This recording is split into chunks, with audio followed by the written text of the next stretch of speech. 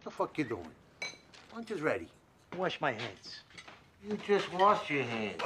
Then I tied my shoes. So what? I can't stand touching fucking shoelaces. Ever go to tie your shoes and you notice the end of your laces are wet?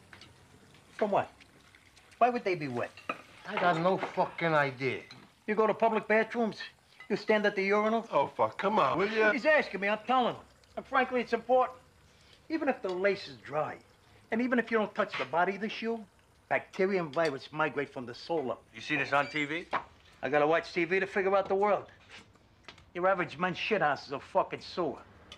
You look at ladies' johns, you could eat maple walnut ice cream from the toilets. Eh, there's exceptions. But a men's, piss all over the fucking floor. Urinals jammed with cigarettes and mothball cakes.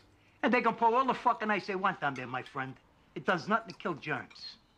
Even if you keep your shoes tied and you're not dragging your laces through urine, Oh, shut the fuck up.